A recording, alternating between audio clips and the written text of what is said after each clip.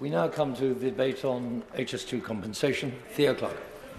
Thank you, Mr Deputy Speaker. I have called this debate on HS2 compensation as I am concerned at how my constituents in Stafford are still being treated by HS2 Limited and I wish to raise their serious complaints to the Rail Minister directly and to hear what he is going to do to address them.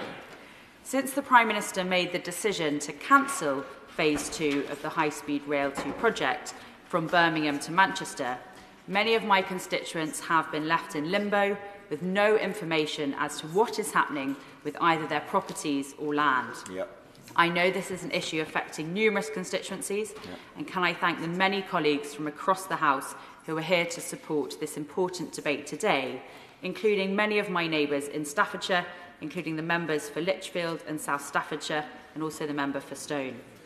Today I'm calling for all outstanding HS2 compensation claims to be resolved. I wish to set out a number of examples in my own constituency which demonstrate that the issue of HS2 compensation is still a long way from being concluded and must be dealt with by the government. Let me start by thanking the constituents who have contacted me, sharing their stories and highlighting how HS2 is deeply affecting them. I also want to highlight that several other constituents who had previously asked me to raise their case have now asked me today not to mention them by name. I am outraged to discover they have been intimidated oh. by HS2 to do this. Disgraceful. In one surgery appointment, I was told, quote, it will not be good for you to get your MP involved as that would be bad for your case, end quote. This is completely unacceptable behaviour by HS2 Limited, and I wish to call this out today. I also, I'll give way on that point.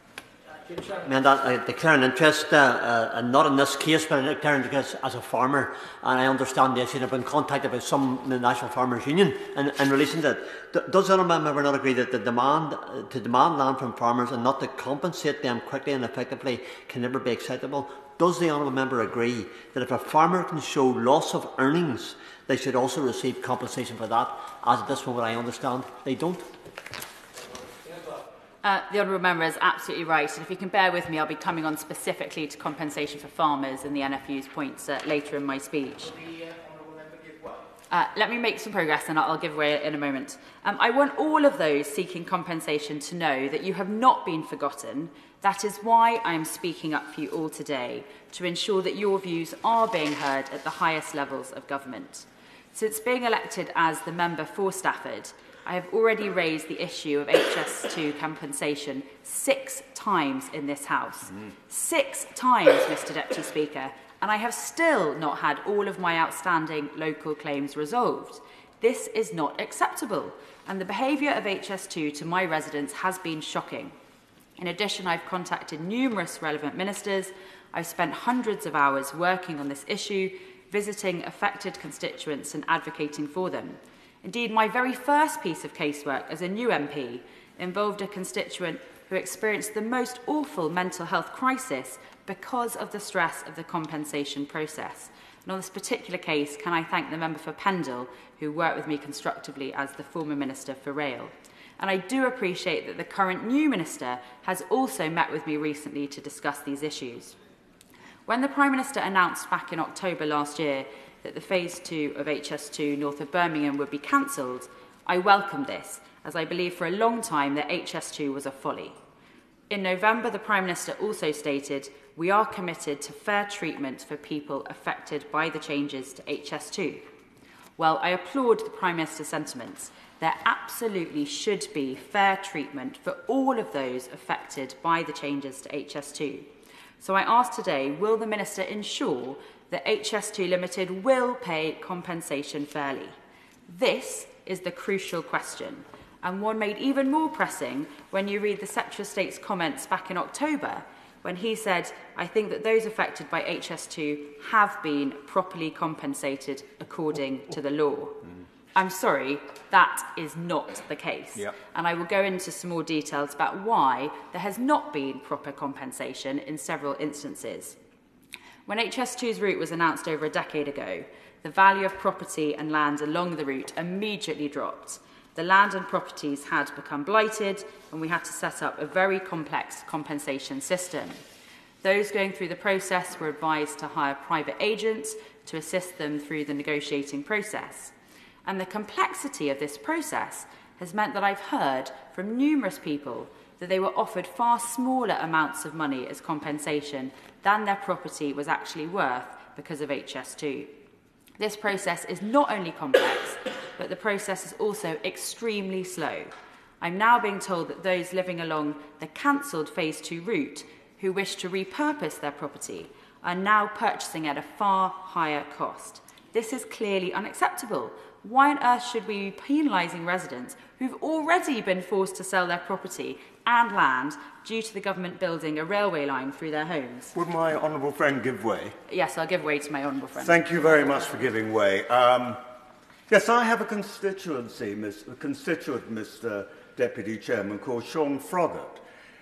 and he had a compulsory purchase order made against part of his farm, and that involves land to which he can, it's the only way he can get access to his farm. Now, three times he has petitioned HS2 to buy the thing back, but they're saying no, it's now going to go onto the open market. How can this be right? And I hope the minister will address this. How can this be right when now the railway line isn't even going to go alongside? and he's willing to pay back the money anyway for his land, which was compulsorily taken off him. Well, my honourable, my honourable friend makes an extremely important point, and I absolutely agree with everything he's just said. And if you allow me to give my own example of a constituent in a very similar situation, I'd like to raise now the example of Andrew Collier, who is a farmer in Stafford, farming 650 acres. HS2 purchased just over half of his land, and some of this land was earmarked for utilities. The land was taken before harvest time, and he asked HS2 Limited for permission to harvest his crop. They said they would allow him to do this, so the crop was harvested.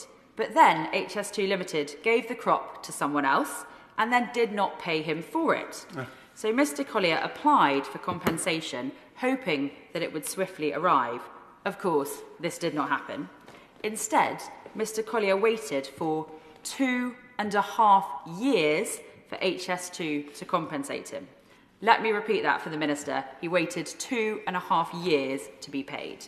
And even now, he still owed hundreds of thousands of pounds to cover two years of lost harvests and other outstanding claims.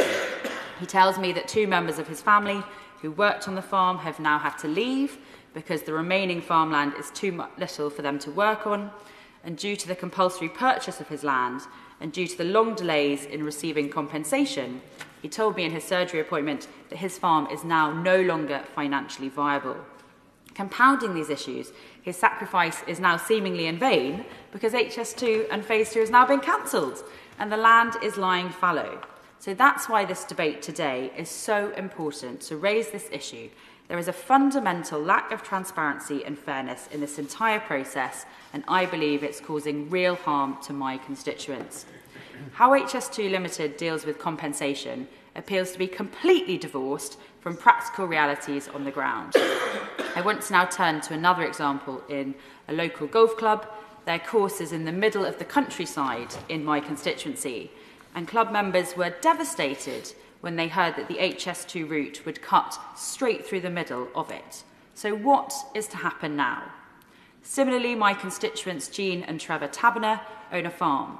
HS2's route meant that their farm would be spared, but their farmhouse was demolished. Their new farmhouse is nearly completed, and they have been seeking the last instalment of money to finish the work. And as we all expect, this needs to be finalised as soon as possible so that they can complete the construction of their home, However, they're facing delays in this, and now the line has been cancelled, HS2 are trying to place restrictive clauses upon them, quote, in perpetuity, just for them to receive what they are owed. These clauses are clearly so that HS2 can maximise the value of their assets. HS2 Limited are quite literally the only thing standing between them and their new home. So again, I ask the Minister, what is going to happen to resolve this? This is affecting people's lives, and we simply cannot wait any longer for an answer. I want to turn now to businesses affected, and in particular, how unsuitable the compensation process is for farmers. Um, my right honourable friend the Minister, in our recent meeting, has recognised that there are specific issues relating to farmers. And I note that in his response to the Honourable Member for Buckingham, he's publicly stated that of the land that HS2 has, about 81% has been let back out to be able to be utilised.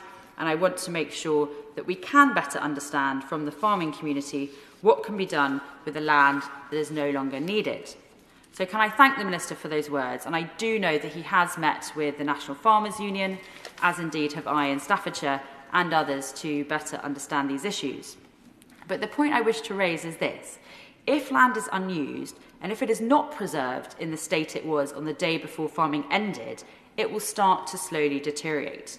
This means, particularly for cropland, that land being returned to farmers will have to be rehabilitated currently at the farmer's expense. So, when you consider farmland, it is clear that the compensation process is causing major financial issues by depriving farmers of the land they farm and the ability to forward plan. I've also come off examples of constituents who have not yet reached an agreement with HS2 Limited when the Prime Minister made his announcement. So can I also ask the government to not forget about those residents who also need to have their compensation to be resolved?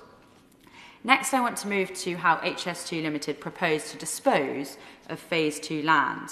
And following the cancellation of Phase 2, they have consistently told residents and business owners that they must act to ensure value for money for taxpayers. Well, of course, as a Conservative, I support this in principle, but value for money in this context appears to mean shortchanging those mm. from whom they are purchasing land and property. And the issue with this proposal is simple.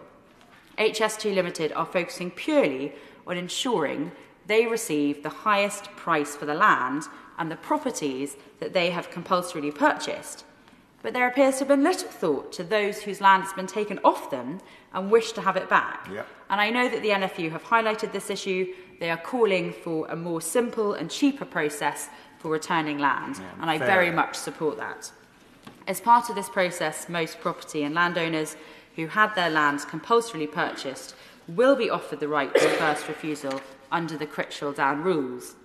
However, the value of the land will naturally be higher than when it was blighted, and will be higher because land and property prices have increased in general. Farmers in particular and all those affected are telling me they are now having to buy back their own land at far higher amounts.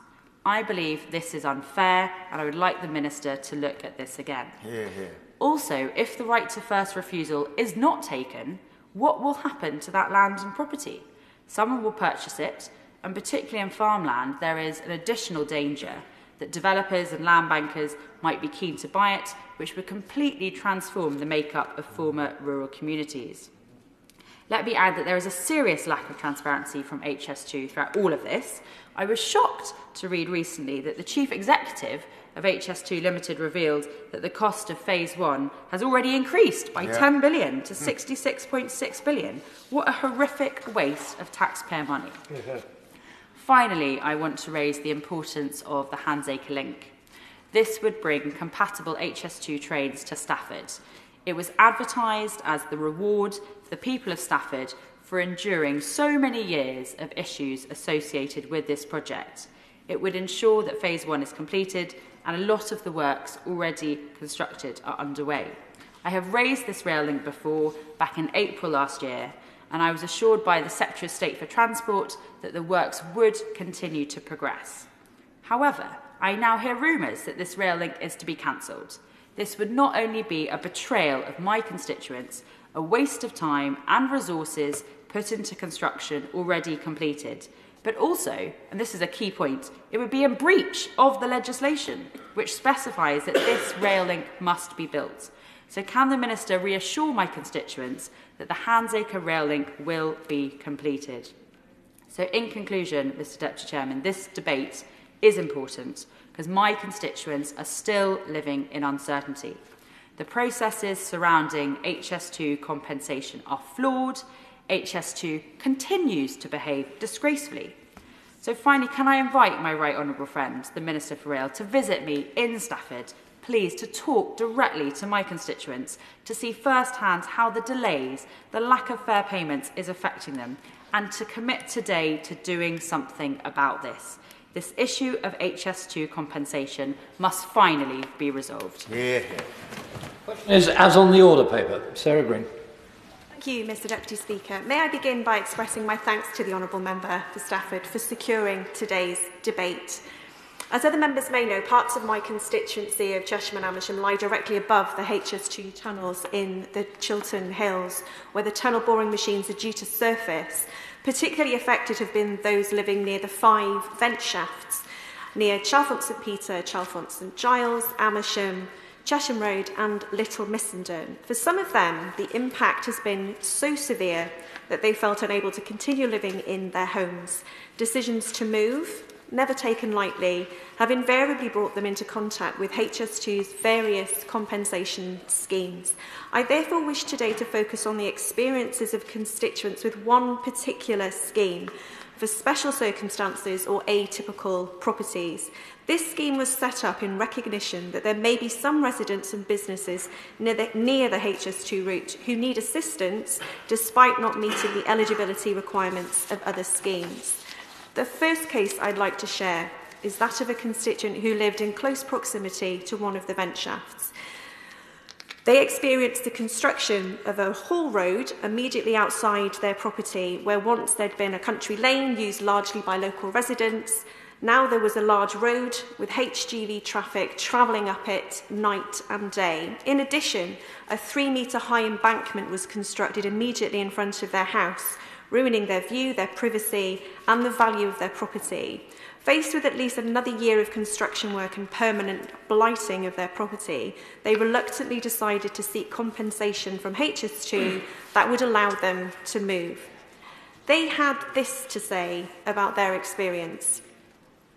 Dealing with HS2 and its contract partners has been a nightmare. They will not properly engage regarding compensation and on other matters they continually delay answering questions, provide incorrect and contradictory information, change their plans without proper notice or consultation, and have no regard for the well-being of the community. They block all attempts at proper dialogue, ignore questions and hand matters to different teams to delay things further. If we complain, we might get a half-hearted apology for the time taken to respond at all, but nothing changes. Thankfully, after much stress and inconvenience, the government did eventually buy this constituent's property at unblighted value under the Special Circumstances or Atypical property Scheme. But the truth is, it should never have been this hard. The delays contradictory information, changing of plans at short notice and half-hearted apologies led to unnecessary delay, distress and upset and it, it doesn't have to be that way. The, the second case I'd like to briefly share involves constituents who moved to their home in 2007, so two years before HS2 was announced. Where previously they enjoyed starlit nights, they now faced floodlights on at all hours. The disturbance and upheaval took a toll on this constituent's mental health, resulting in them making the difficult decision to sell their home. HS2 initially sought to steer the couple towards the need to sell scheme, which would have forced them to sell their property at market value as opposed to the considerably higher unblighted value. After much wrangling, including intervention from, from my office, HS2 agreed to consider the couple as an atypical case. But part of the problem, of course, was that there's no formal application process. And this is part of the problem. The process itself is opaque Unfortunately, HS2 agreeing to consider my constituents as an atypical case was in many ways just the beginning.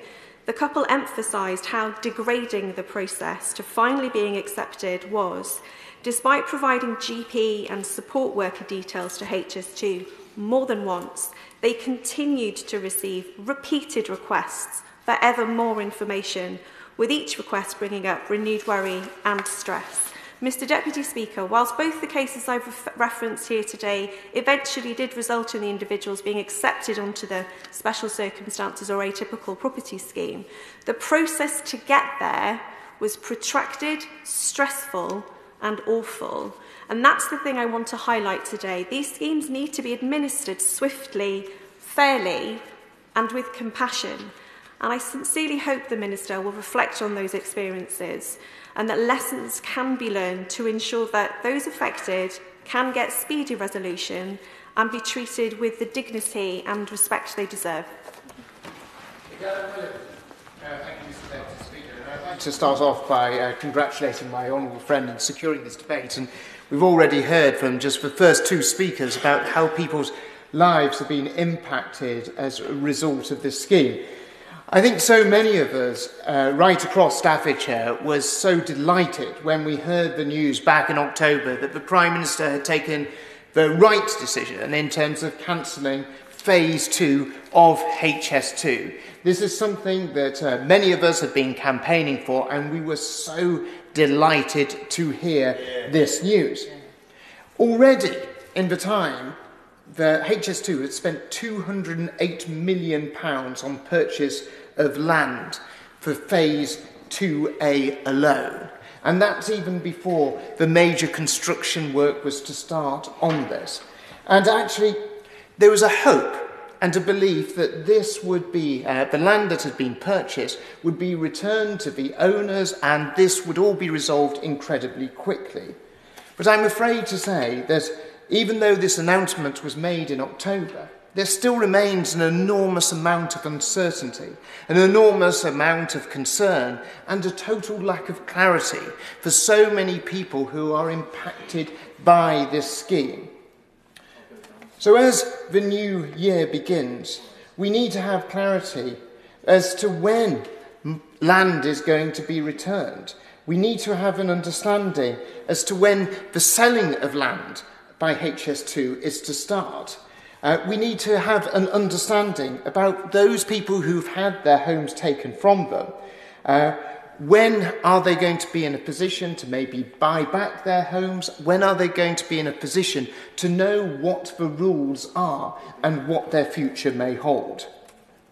Um, I appreciate that the Minister has just today lifted the safeguarding on phase 2A. This is something that I think all of us very, very much welcome.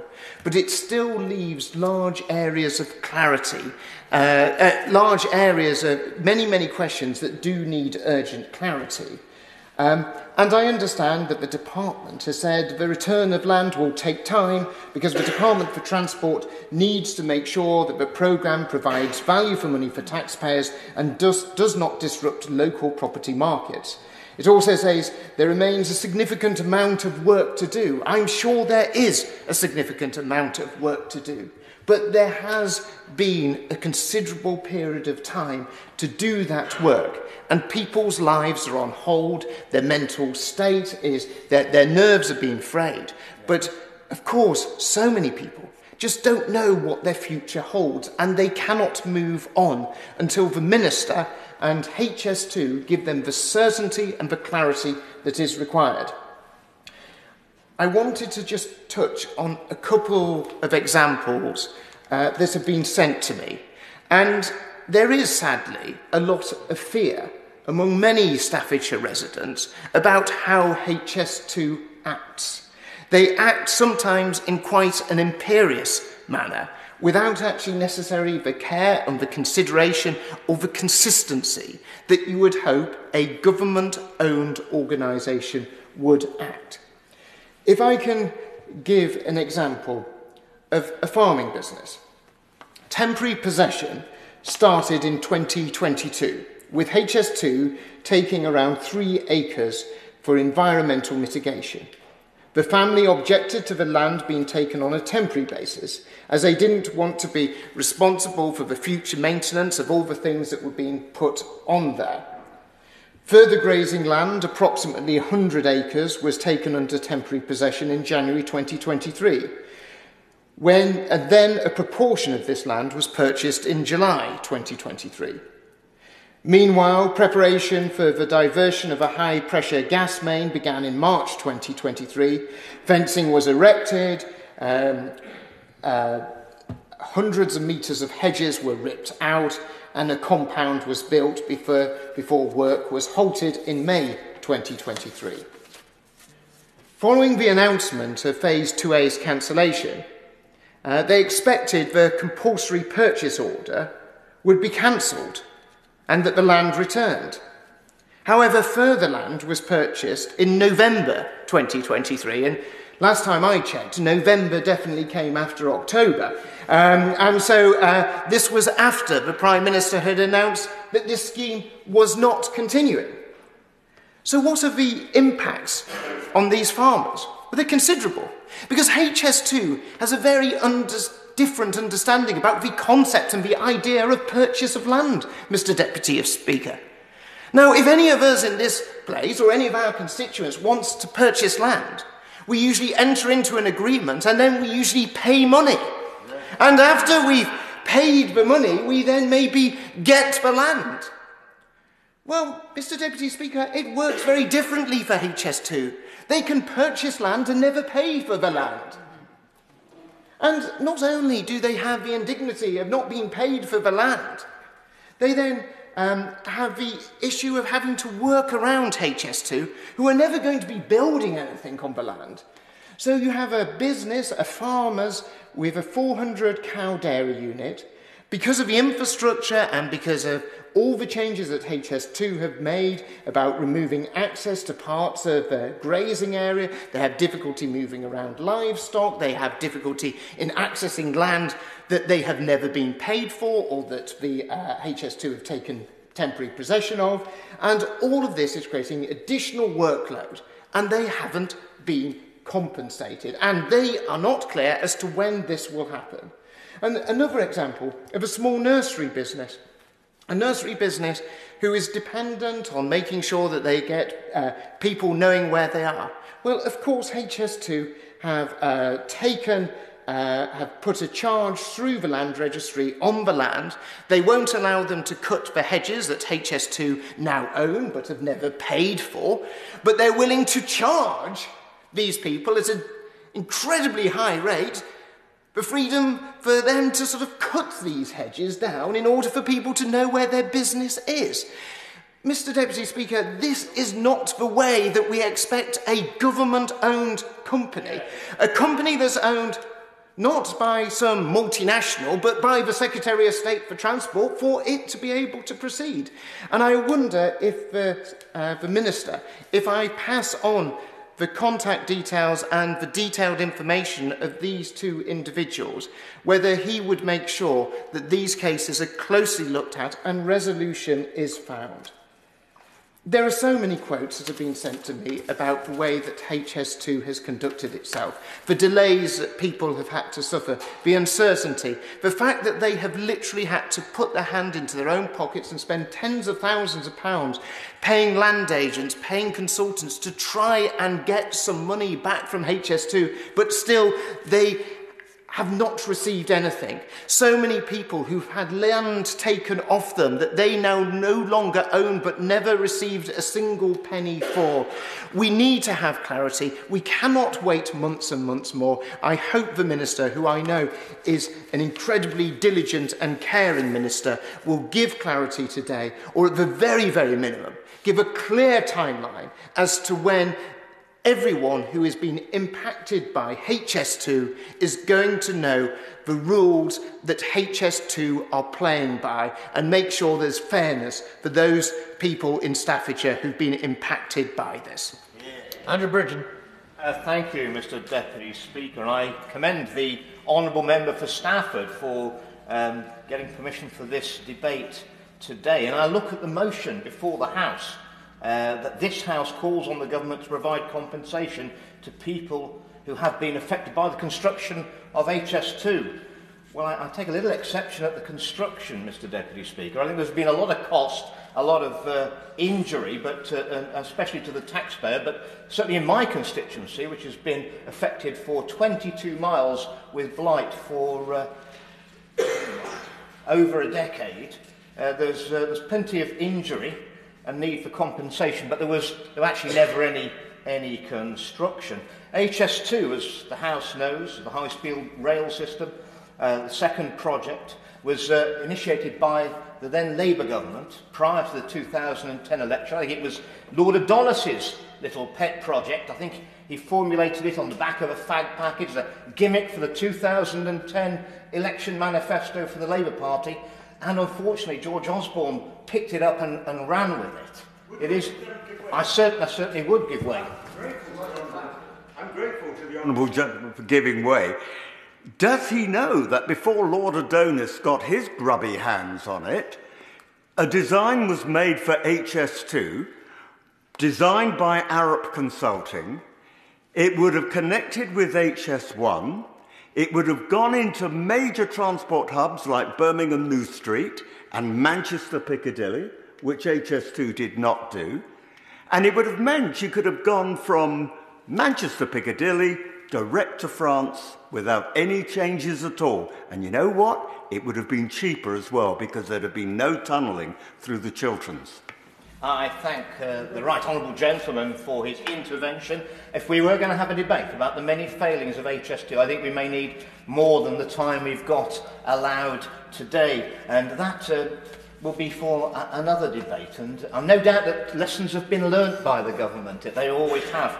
Um, they've been very expensive lessons uh, indeed uh, for the taxpayer. So we know, we know what HS2 is, the white elephant that got ever bigger on uh, on taxpayers' money. I think I, I had opposed the project before it even started. I voted against it on every opportunity and spoke against it uh, for, a, for a, a, a, a, de a decade. Uh, but uh, the elephant got uh, ever larger.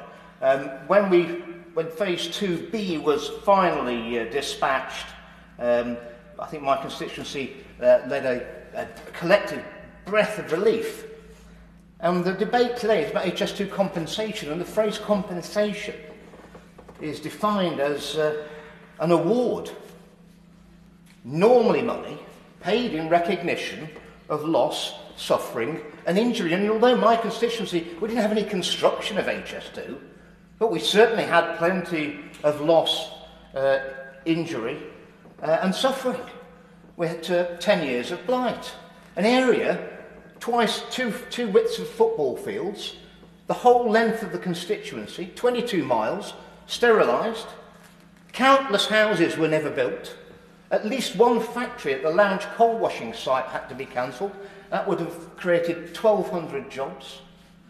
And we've had this blight for 10 years.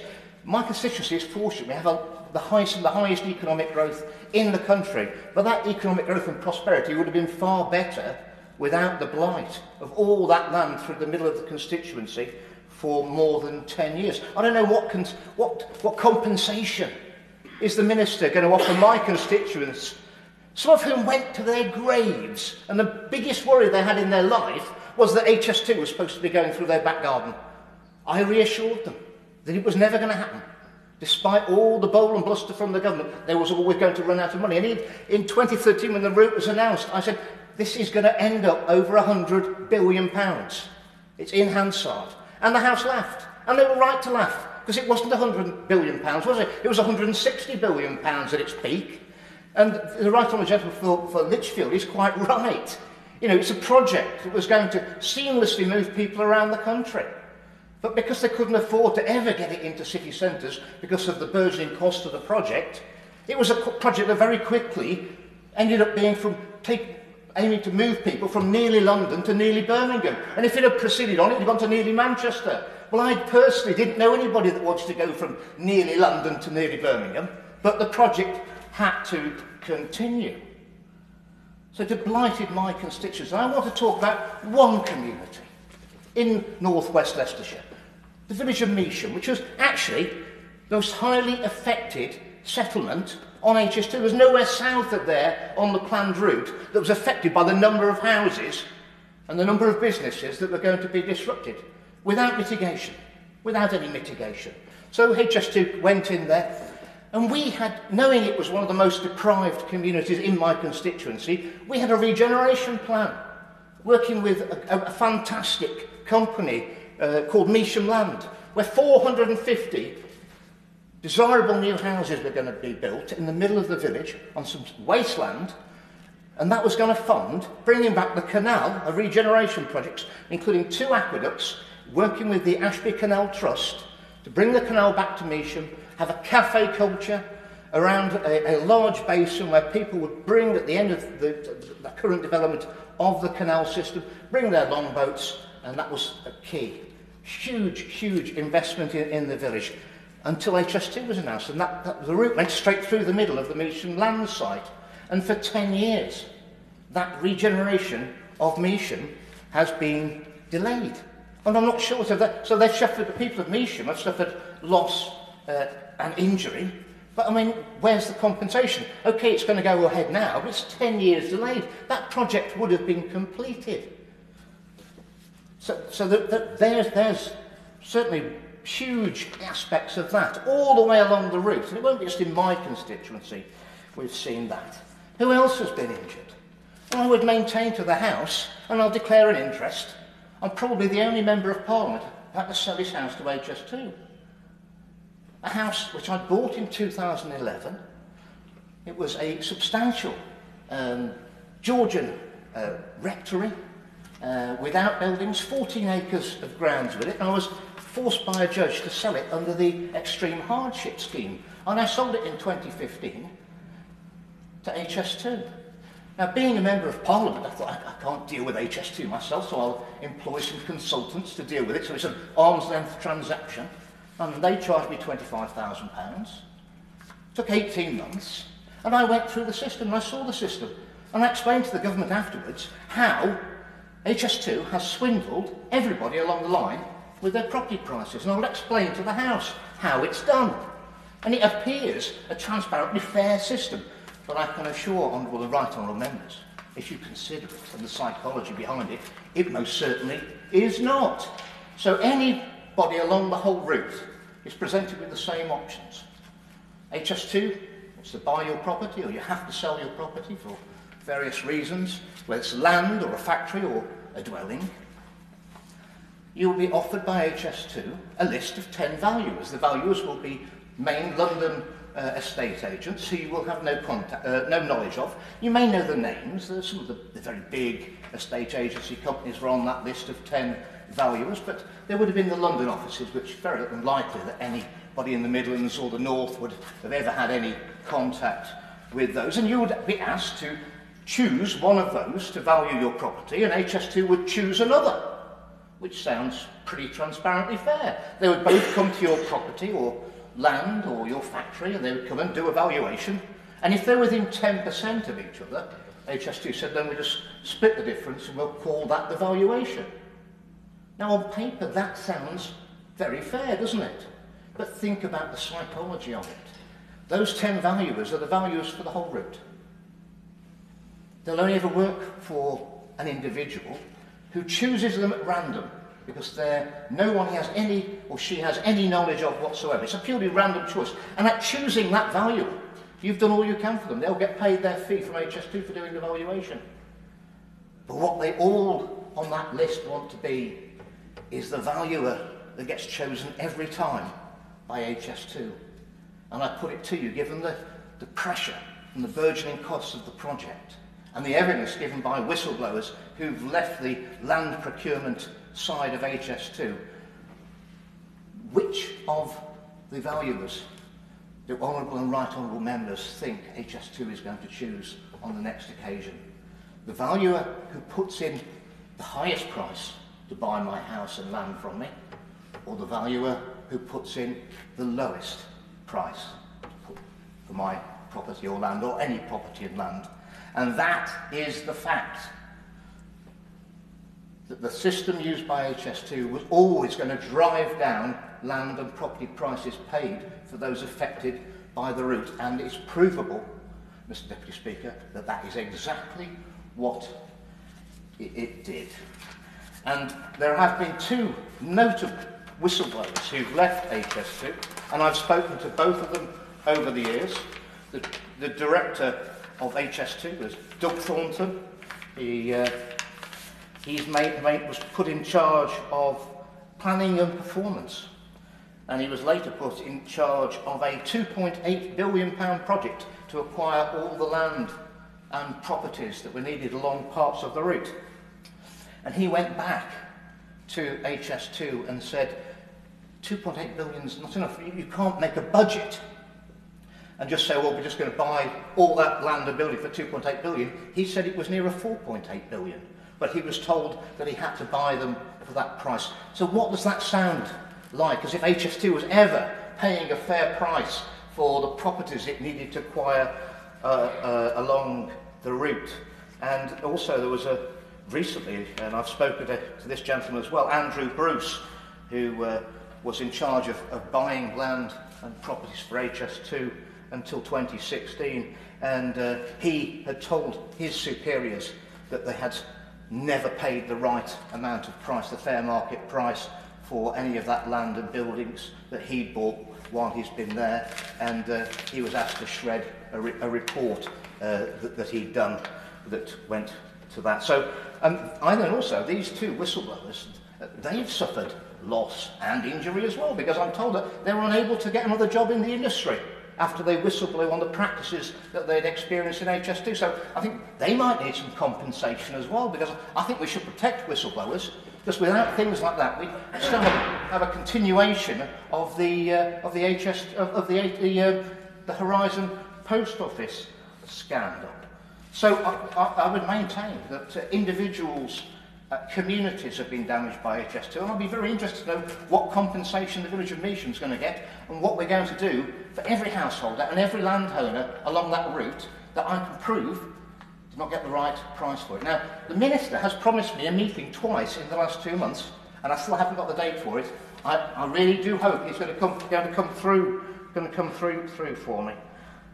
Um, so, and with that, Mr Speaker, I hope lessons will have been learned by HS2 and the government. And I think it's, you know, it's a week of scandals, whether it's the Horizon Post Office, the loan charge, or HS2. This government has not covered itself in glory.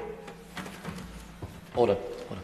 Can I point out that there are three members, plus the front benches, still wishing to speak? Debate has to end at five o'clock. I urge brevity upon colleagues. Dr. Karen Mullen. Thank you. Deputy Speaker. I want to begin by congratulating my friend, for, my honourable friend, for securing this important debate and for advocating for her constituents. Then my remarks will show I'm considering this topic from a slightly different but equally important angle. I'm here to press the government to compensate crew in light of the cancellation of HS2 from Birmingham to crew and then on from crew to Manchester. To begin with, I hope the House will indulge me,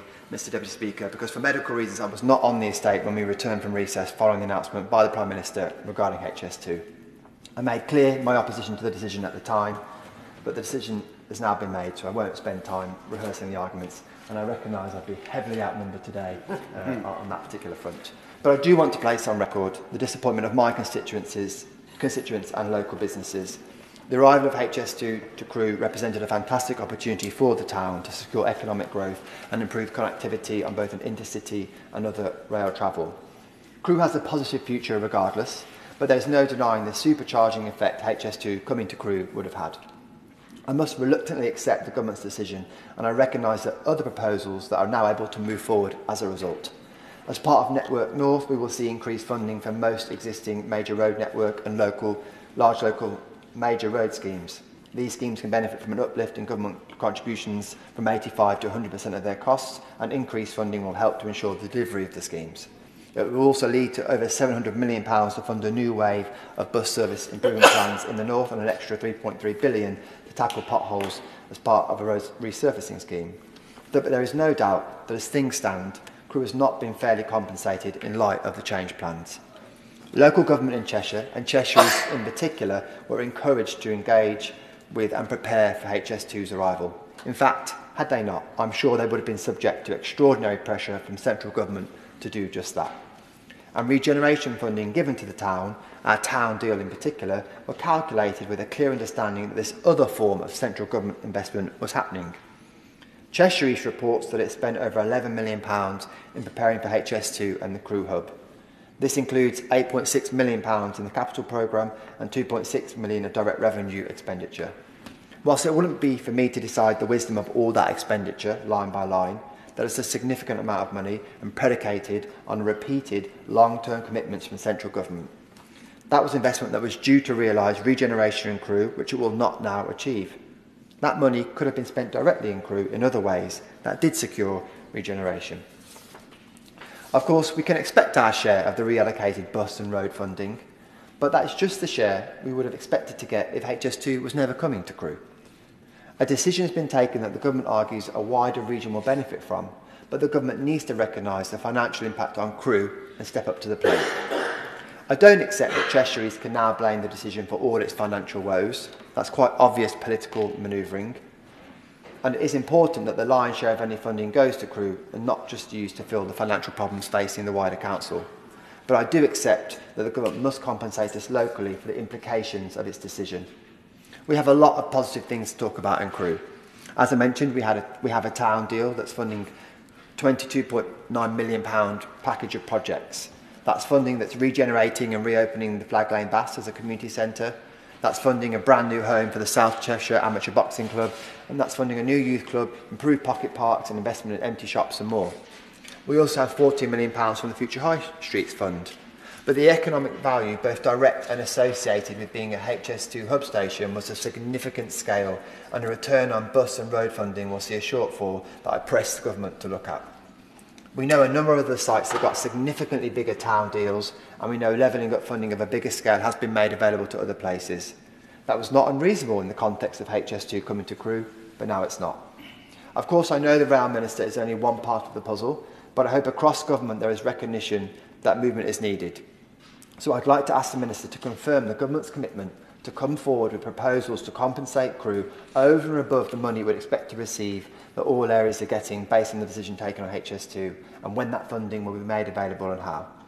When the dust has settled, the government should be able to demonstrate clearly that the impact on crew has been recognised not just with words but with a clear investment of funding. That's the fair thing to do. I know the Minister recognises the obligation that any reasonable person would see exists. I would expect he is pressing the case, but time is moving on. What we need now are results. Yeah. Thank you, Mr Deputy Speaker, and I congratulate my honourable friend for Stafford for securing this important debate uh, that gives me an opportunity to continue, as I have done many times before in this chamber and on the Transport Select Committee, to detail the plight faced by landowners and small business owners alike, who, through no fault of their own, have been swept up in the seemingly endless and needless disruption caused by HS2, Limited, and their contractors in my constituency. People who face losses and hefty legal bills, which have left many unprofitable, some facing near bankruptcy, all without the means to recoup their losses in any, any form of equitable way. I have heard time and time again of the inescapable, infinite loop of bureaucracy that surrounds what meagre compensation HS2 Limited is willing to cough up, which in itself increases and prolongs my constituents' legal costs. One landowner has told me that her land agent is increasingly reluctant to take on more work as more and more of his bills, which under the Act are meant to be compensated by HS2's own agents Carter Jonas, go unpaid. A couple in my constituency have been caught up in this legal quagmire, with HS2's insistence that their septic tank be replaced before the project purchases the property at a predetermined rate. What was supposed to be a relatively straightforward job turned into a multi month process, preventing my constituents from selling their property at that agreed price effectively leaving them short-changed, despite them simply following due process. They have yet to be compensated for the difference between the agreed value and the actual value of their property. In the village of Quainton, which in one way or another has been continuously impacted by HS2's road closures, yet another road closure is about to come into effect, this time for two years. This will devastate my constituents at Doddishall House whose business will suffer from reduced access to and from the estate and require a lengthy diversion both for them and their clients. HS2 have not even attempted to offer them compensation. Or take, for our farmers, cattle loss, which has blighted numerous farms as a result of poor soil treatment and management by HS2's contractors, often operating right next door. One farmer has quoted a total loss of £37,000 as a direct result of HS2's shoddy practices. How, Mr Deputy Speaker, can this possibly be morally justifiable for the project? How can a hard-working family be left with such heavy losses? Then there is blackleg, a disease in cattle that is caused by bacteria released from disturbed soil. I'm aware of at least one case that the farmer has attributed to HS2's malpractice. It is noteworthy that farmers in this area have never seen a blackleg case before in Buckinghamshire. And no prizes, Mr Deputy Speaker, for guessing how much compensation has been offered. For the avoidance of all doubt, absolutely zero. And it's not just farmers and landowners that suffer from being left out in the cold by HS2.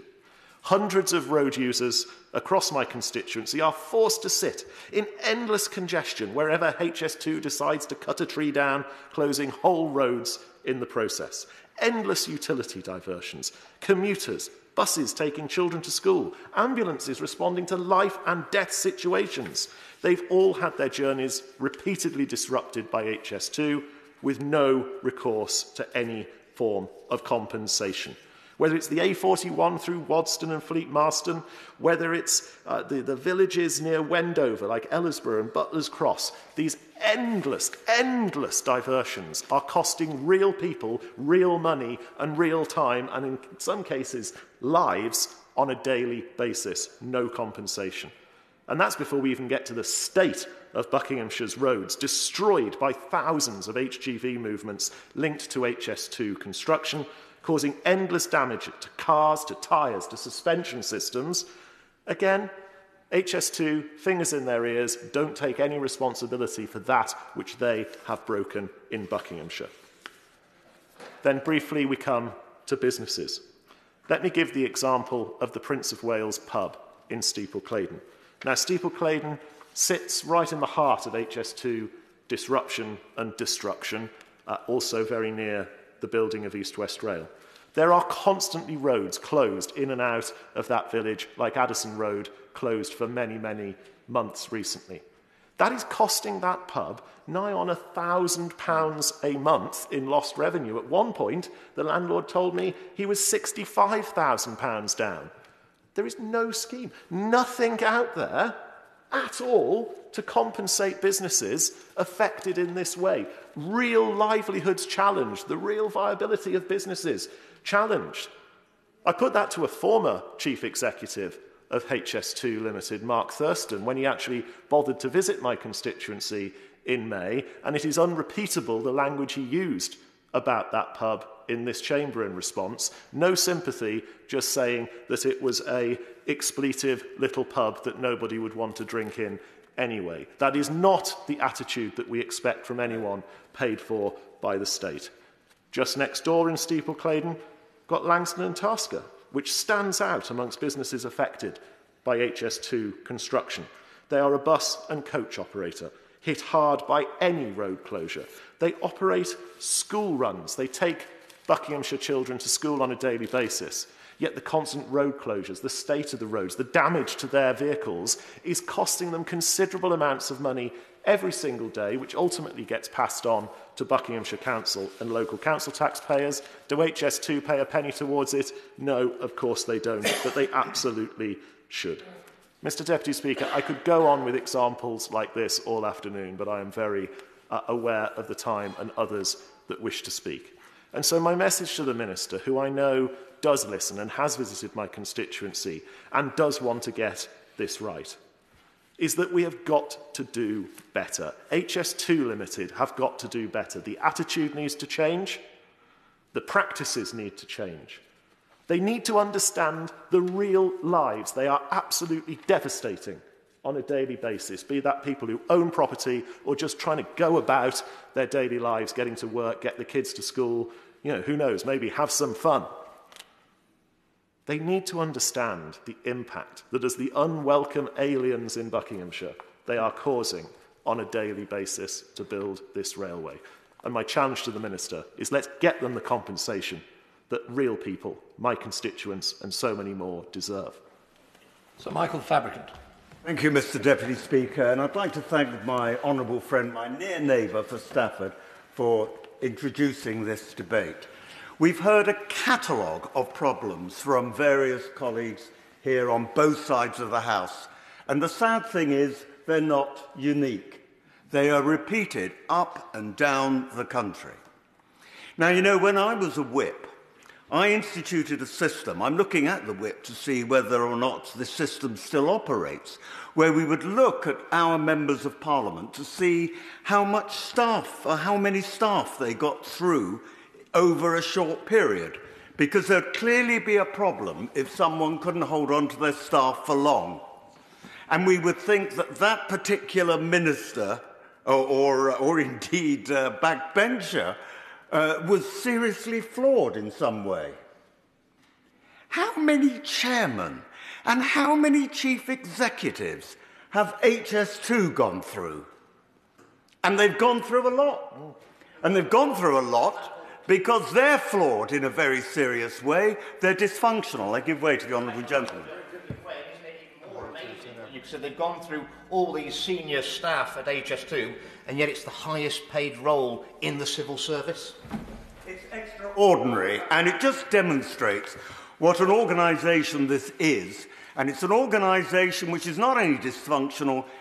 it's unfair. In an earlier intervention, I talked about my constituent, Sean Froggatt, uh, who is not being allowed to re uh, land that was compulsorily taken off him, even though now the land isn't needed because the railway's not going ahead on phase 2A. Uh, I might add that the land was taken off him and he's still waiting to be paid. He's waiting to be paid and he's still not going to be able to reclaim this land. Now, I took the opportunity of looking at my cell phone during the debate Not because I was looking at tractors or anything like that, but because I was doing some research about the Critchell Down Rules. And it says on the government's own website, the Critchell Down Rules require government departments to offer back surplus land to the former owner or the former owner's successors at the current market value. It's got to be offered back to the same people. Not only is it not being offered back at a reasonable price, it's often not being offered back to the same people. Now, look, I came in at the very last moment to speak in this debate, so I'm not going to take up a great deal of time. I will listen with interest, by the way, to the answer from the minister, which I suspect might be the same as the answer he gave yesterday in a different debate regarding the Hansaker uh, junction, which happens to be in my constituency. But I would ask that in these dying days, and I think they are dying days in one way or another, of HS2, that the government gets a grip on them and makes sure, just like in the previous debate, that justice is done for our constituents and that the sense of justice that we have in this nation extends not only to HMRC, as in the previous debate, but in this debate to HS2 Limited. Opposition frontbench, Mike Kane. Uh, thank you, Sir Roger, and I congratulate the Honourable Member on securing this important debate today, and thank you for the Backbench Business Committee for uh, its time. Uh, and can I also thank Honourable Members Cheshire, Armishan, and South Staffordshire, North West Leicestershire, Crewe and Nantwich, um, Buckinghamshire and Lichfield for contributing to the debate today. Uh, Sir Roger, the stories we've heard and those which have been reported over the years show very real consequences of this Tory HS2 fiasco. Ooh, mut muttering from the benches opposite. If you don't have the civil service involved in cancelling that decision which the Prime Minister announced in Manchester. It was done on the back of a pack, fag packet which has been used today all day without the Department of Transport. No wonder you get this type of fiasco going on. Now, we have heard of the people having to leave their family homes they have worked hard for, the businesses having to pack up and leave their premises, the towns, the villages that having their homes targeted after they were bought and late, later left to rot, the farmers forced to move or not able to use the land for years uh, because of more and more delays to HS2. Cash strapped councils, as the member of Crewe Nantwich uh, has said, 11 million pound Cheshire East have paid out to that. And I commend uh, the Labour spokesman there, Conor Naismith, on his campaign uh, to have the council uh, reimbursed for the money lost. The communities who have put their future on pause for years and the families who have found getting compensation to be painful and a drawn out experience. These lives and businesses disrupted for a decade. And for what? a now staggering 65 billion high-speed train, which won't even reach these communities that have been impacted. A train which, according to the chair of HS2, will result in fewer seats, longer journeys for those travelling north of Birmingham. What a result for those living in these communities and across the north. And that is before we even consider how much taxpayers' money has been spent on this compensation.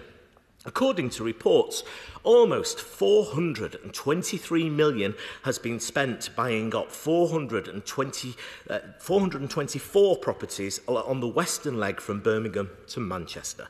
Another 164 million spent towards buying 530 blighted properties on the eastern leg to Leeds. And with the news today that the government is lifting the safeguarding on this land.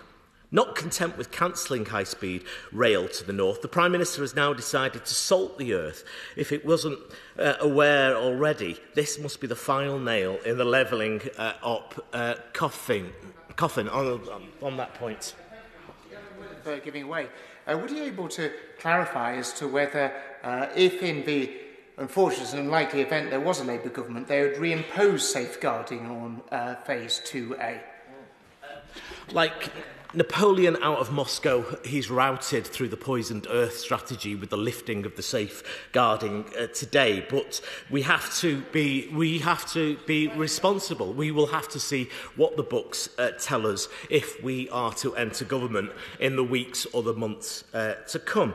Now, 14 years of promises to the north and the Midlands, and in this desperate failing attempt to try and rebuild brand himself the Prime Minister as the change candidate at the lex, next election, he decided to rush through an alternative plan at the party conference, as I've already said. A plan which mentions places such as Crewe, who would have been greatly benefited, as the member for Crewe and Nantwich rightly said. A plan which the Prime Minister later admitted was only illustrative. Only illustrative. The Net Worth uh, North plan, Sir Roger, announced fantastic news for my constituency in Withenshaw and Sale East, a new Metrolink line to Manchester Airport. It opened in 2016. That was the chaos and the confusion of that announcement.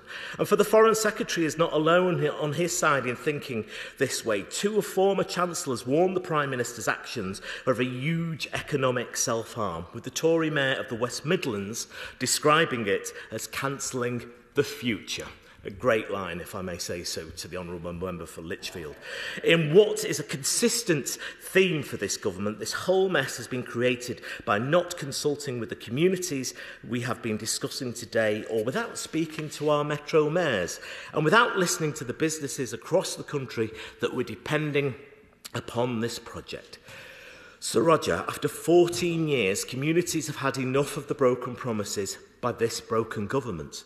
Labour will not repeat these mistakes, mismanaging major projects, turning people's lives upside down, taking their trust for granted, impacting their businesses and livelihoods, and failing to deliver. I'm happy to give way to the Honourable Member. I'm listening carefully to what the Shadow Minister is saying. He's trying to say that a mythical future Labour government wouldn't disrupt people? Does he understand that building HS2 does devastate people's lives? Big infrastructure does devastate people's lives. There is not a way to do it without doing that.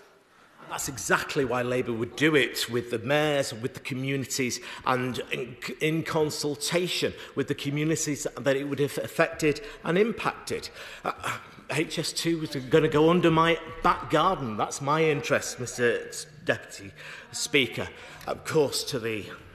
That Labour would do it. So can I just confirm that Labour is now saying it will bring back HS2 if they won the next election, just to be clear? Sorry, I just refer your, myself to the answer I gave to the honourable member for South Staffordshire, uh, and that's, that, that's, that re remains our position. That's why we on this side have launched an independent experts review of transport infrastructure, headed by industry leader Jürgen Meyer from Siemens originally, to learn the lessons from this shambles and to ensure we deliver transport infrastructure faster and more effectively so communities aren't taken for a ride with nothing to show for it, which has been the case here. Sir Roger, today we have just heard a few of the many examples of people's lives being impacted by this Conservative HS2 scandal. And it is clear that communities are still paying the price for the delays of the past decade and the chaos of the past few months. I hope I I'll give away, of course. he, he's being very generous, but would he, in his generosity, accept that if it hadn't been for Lord Adonis changing the original plan, it would have gone nowhere near areas like the Chilterns. It would have gone up a completely different route, been a connected railway, and actually been probably quite worthwhile.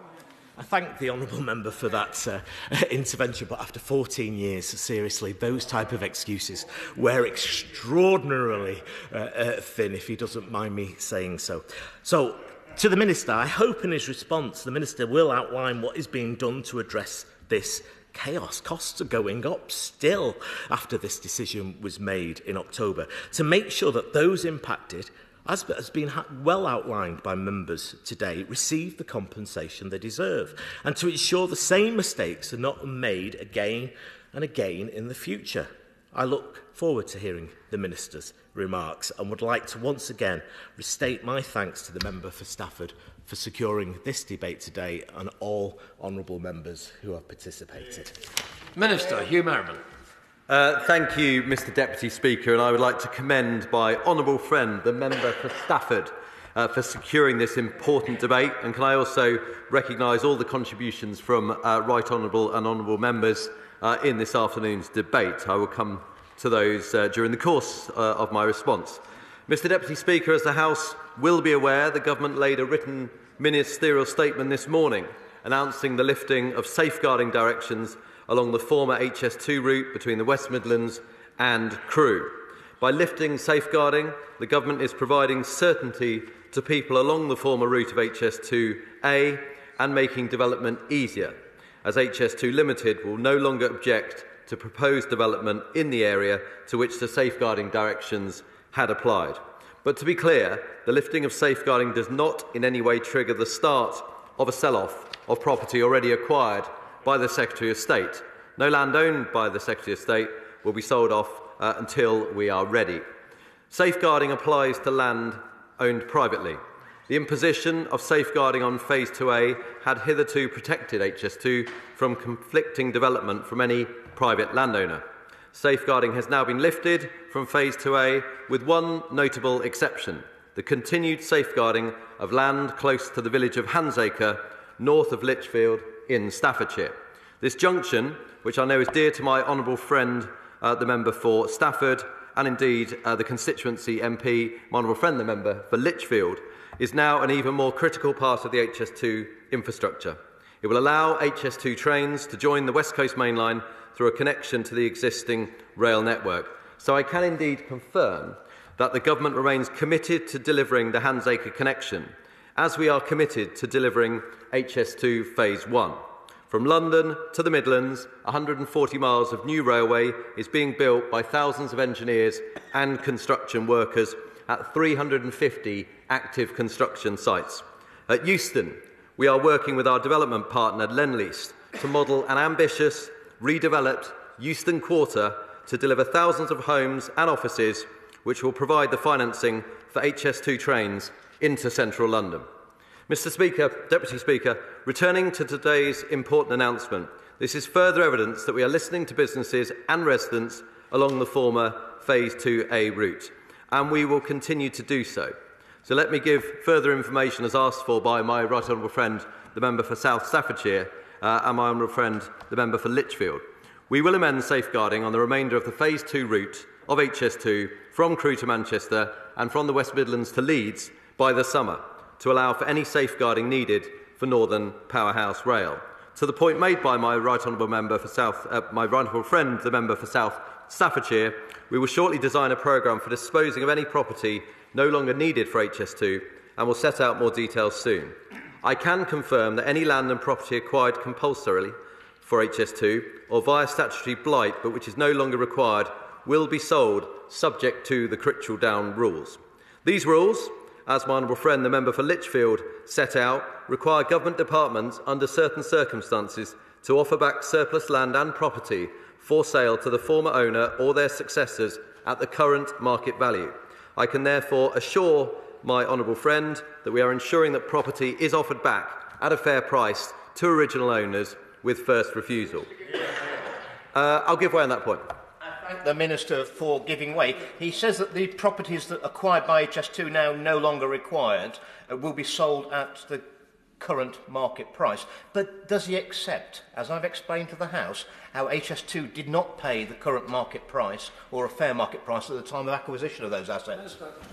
Uh, thank you, Mr Deputy Speaker. Um, I, actually, I know I'm due to be meeting uh, the Honourable Member. He said that I'd uh, de declined to meet after two uh, uh requests. Actually, he had a meeting in his diary yesterday, but he was unable to, to make uh, the meeting according to his office. So we've set it again for the 31st January. I will talk to him about the matters he raises. Uh, I know that the Department and the HS2 team have looked at it before and do not agree uh, with the conclusions that he's mentioned, but we will discuss when we meet on the 31st that, as set out, Mr Deputy Speaker, by honourable uh, friends behind me and other honourable members who have spoken, property owners who have found themselves obliged to deal with HS2 Limited and their contractors have had a varied and, I would have to say at times, an inconsistent experience. Those property owners are, understandably, less interested in what HS2 can or cannot deliver for transport and the wider economy. Their focus has instead been on seeking the compensation they are entitled to and navigating what must at times have seemed like an unequal relationship with HS2 Limited. Mr Deputy Speaker, I readily acknowledge how important it is that those owed compensation, such as money for the purchase of their property or for expenses or costs associated with such transactions, are paid in as timely a manner as possible. I have always sought to impress upon the company and their agents that it is unacceptable that cases should drag on which is of no benefit to anyone, certainly not the property owner and certainly not the taxpayer. And when it comes to paying owners for title to properties that they have in many cases sold unwillingly, it is only right that they should receive recompense in full and as fast as practicable. That said, each property transaction is unique and therefore presents its own set of circumstances. As many in this House will be aware, when negotiating and settling compensation claims, HS2 Limited follows the principles set out in the Compensation Code. There are also a number of dis discretionary schemes which offer further help to those not eligible under the statutory framework. In effect, they go above and beyond that framework. HS2 Limited must achieve a careful balance between meeting the needs of the claimant and delivering value for money to the taxpayer. The Compensation Code requires claimants to provide robust evidence for their claims. It is often when claimants are struggling to provide sufficient, suitable evidence that their claims that negotiations, sorry, that their claims that the negotiations become frustrated lead to delays. And I will, Mr Deputy Speaker, be frank. The extent to which claimants' agents provide suitable evidence or are willing to negotiate from a realistic standpoint varies considerably, and I found myself in the middle uh, of some discussions in constituents' homes to that degree. So it's important to understand that background as it helps to explain why, in some instances, property owners consider that they are having payments withheld. Late payments, when they do occur, are never acceptable, but they are the exception, our data shows, rather than the rule. Mr Deputy Speaker, property cases should be concluded as soon as practicable, within the constraints imposed by the balance of property owner and the taxpayer's interest. The evidence shows, and I'll happily write to every honourable member and right honourable member uh, who's taken part in this debate, that HS2 Limited is succeeding in closing down claims uh, despite the considerable complexities those claims involve. However, I acknowledge that there are a number of impacted parties, and we've heard about many of them this afternoon, with whom HS2 Limited has not yet been able to reach agreement and where negotiations have become challenging. And as I mentioned, I've got myself involved in many of those cases to move them further along and challenge HS2 as to the position being taken. My honourable friend, the member for Stafford, is, in that regard, a tireless advocate for those cases which have arisen in her constituency, some of which she and I have previously discussed, as she mentioned. She's mentioned some in particular during this debate. I will write back to her with my latest understanding of where matters sit regarding her constituents, Mr and Mrs Taberner and Mr Collier. The same applies to other constituent cases named in this debate by my Right Honourable Member for South Staffordshire and for others.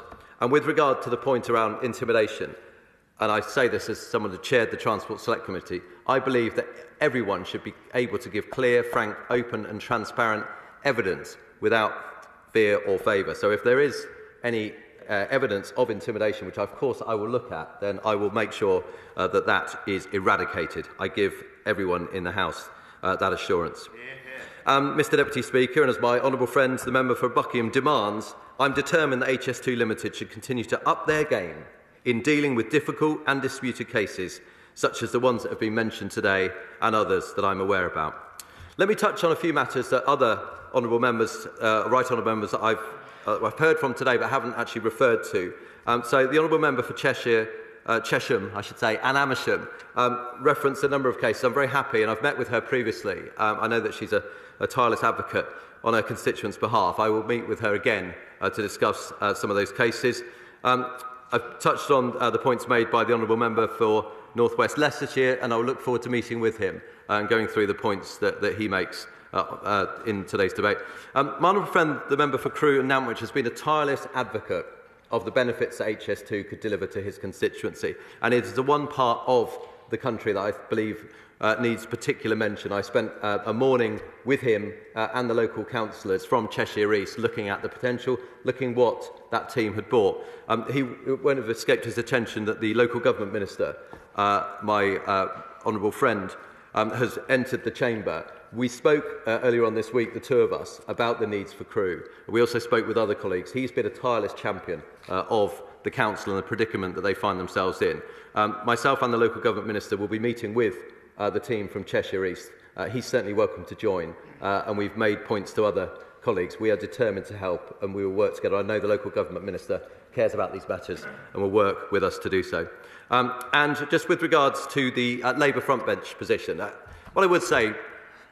gently, because he's a fellow football uh, player of mine uh, as well as a good friend, um, the Labour position does appear to keep changing. Uh, just last week, the leader of the opposition, uh, went to Manchester to say that HS2 would no longer continue. Uh, that was slightly inconsistent to what we heard this afternoon. It may well be the case that many dispute the plan that we have in place, but the plan is not to go ahead with HS2 north uh, of Hansacre and instead to spend that money, the £36 billion, pounds, on projects across the country benefiting all cities across the north in particular uh, and the Midlands. That is the plan. What I think we'd all like to know, Mr Deputy Speaker, is what is Labour's plan? Is it going to deliver HS2, or if it's not going to deliver HS2 beyond the Midlands, is it going to commit to the £36 billion that this government is committing to levelling up? And I think we would all like that clarity, not least the constituents represented by all those behind. Uh, I won't be able to due to time uh, by the looks uh, on Mr Deputy Speaker's face. Um, let me end with three final points by thanking my honourable friend, the member for Stafford, and all the other members in this place for tirelessly working on behalf of those affected by HS2 and the manner in which they engage with me, I am at your service. By, by welcoming and accepting my honourable friend's kind invitation to visit Stafford, I will do so and before the spring is out. And thirdly, and in conclusion, to commit to do the best I can for those property owners impacted by HS2. This includes ensuring the timely payment of compensation, the urgency of which has been laid bare in this debate. Leo Clark to wind up the debate. Thank you, Mr Deputy Speaker. Well, firstly, can I thank the Minister for listening to the extraordinary examples that we've heard this afternoon in the Chamber of how HS2 have behaved to our constituents. Can I thank in particular the members for Lichfield, Cheshman, Amersham, South Staffordshire, North West Leicestershire, Crewe and Nantwich and Buckingham for speaking this afternoon's debate. Um, I do welcome what the Minister has said. I welcome that you'll visit my constituency to meet with affected residents and in particular to write to all of us who've spoken in the debate today to have clear answers for the individual cases that we've raised. It's very clear from this afternoon's debate that there is still considerable uncertainty over HS2 and I welcome that the government is going to look again at resolving all outstanding compensation claims. Question is as on the order papers. The matter of their opinion say aye. aye. Contrary no. The ayes have it. Petition.